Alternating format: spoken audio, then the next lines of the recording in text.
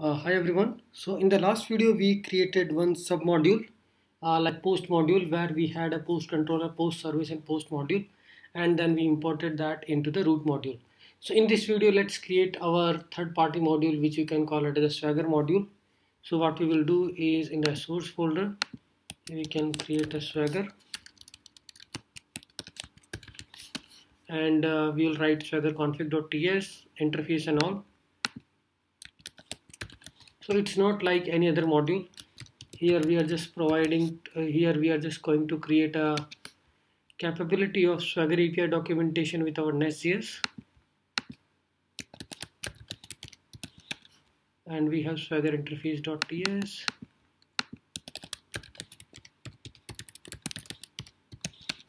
now Swagger interface means what all things we are covering for a particular Swagger documentation. So here we have three things title description version and tags. This is what we define in the swagger uh, spec yml when we were creating the rest api. Now swagger config. Swagger config is about uh, the project description and all. So this is of config config is using the interface swagger config. Swagger config is of type this swagger config interface and we define all the, these information. So tags can be your all different type of tags which we are using in the application now swagger.ts which will be our main file and here we will write our code how we are going to create a swagger document. So export function create a document. I mean this code you can find anywhere in the Nest.js documentation. And here app i nest application and uh, what it is going to return is open API object. Mm, API object.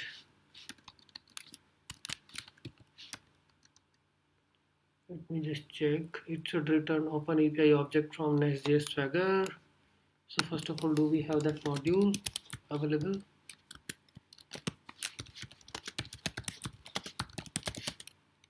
Minus minus c nest.js okay this may be a this is a separate module.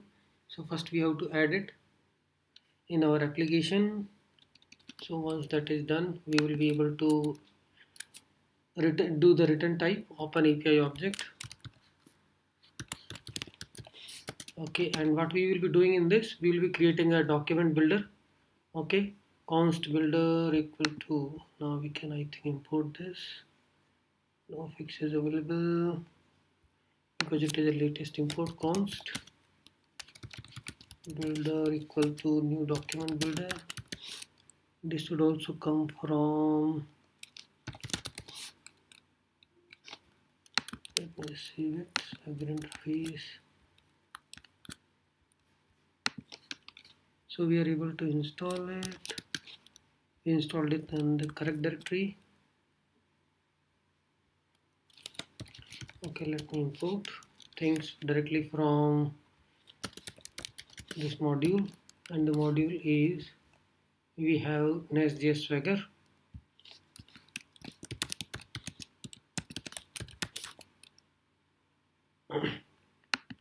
And what all we are importing is document. Okay now we got it. We are getting it. Open API object and swagger module okay open api object. This is what i was looking at. Okay now document builder.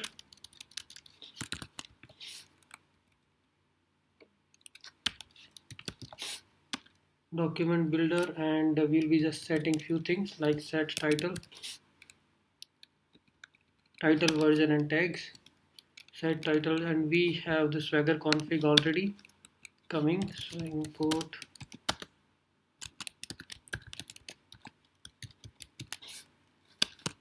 swagger config already imported. I mean i like this auto filling.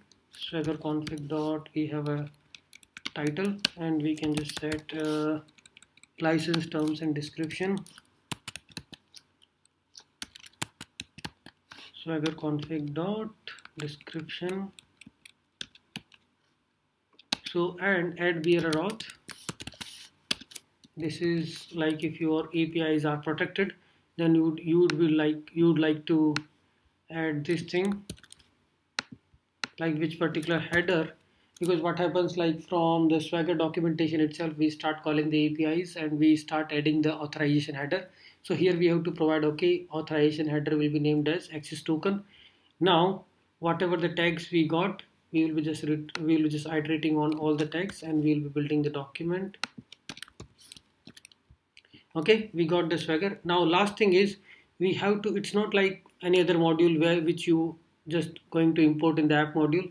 We have to do few things in our app.ts so let's go to our main.ts where we are bootstrapping our application. And here swagger module we need to import and create document. Create document we can import from our swagger module. If we are exporting it from there.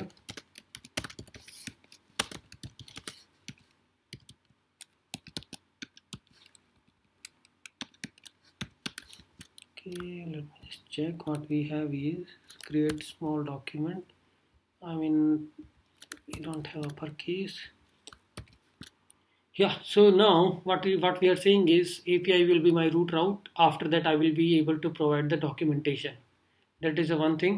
Okay after that we are listening to the server and server is starting on that particular port. Okay this is one thing. Now how these APIs will automatically get exposed? Do we need to do something? I mean do we need to add API property and all in our controllers? So that we can do uh, for a particular properties we have in the DTOs so if you go to the app controller we can even define the the custom message. Okay the API if the API is returning bad request exception then what the response should we get? So here we can just provide API properties API body. So this API property you can add on the DTOs like uh, if I'm passing get hello get hello let's create one post method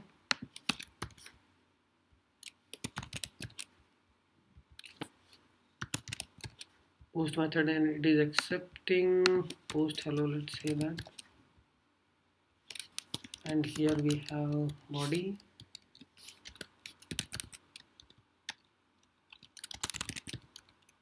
And we are calling it a main DTO okay. And in the SRC itself we created one DTO I mean in the core we can create a DTO for this uh, we can call it as a main DTO and inside main DTO we can create one index dot ts. We can call class make export class main DTO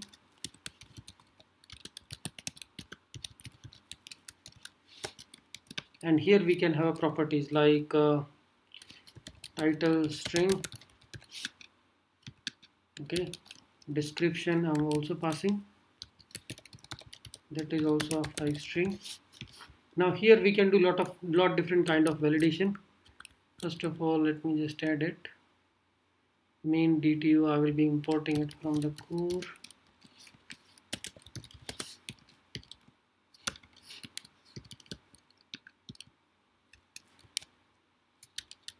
I think we created this in the core or somewhere else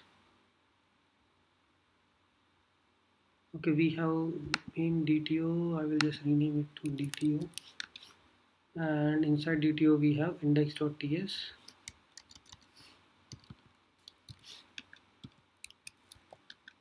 right so we are getting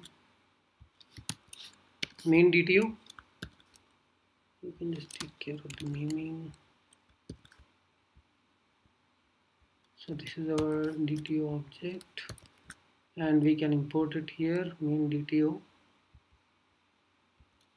main DTO has a title and description so this body will have a title and description.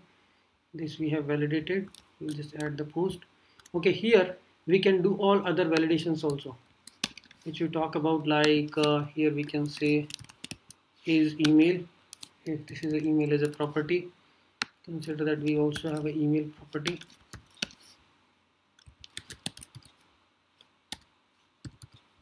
okay is not empty. It means this it will not be an empty value. And here we can also say this is API property. Okay so in the in the swagger documentation you will see this as an API property coming. Is we can say is string. Okay is not empty. All these validations we can perform on these DTO properties and same will be available on the Swagger documentation. So we can use this API property. Similarly, we have other things, API property, API property params and all. Now when you run this application, we should be able to see this Swagger API documentation available for forward slash API. Here we have declared it that Swagger documentation, Swagger module we are setting up for this API and we are creating document by passing the app instance. Okay. So let's see this uh, Swagger documentation in next video, how it is running.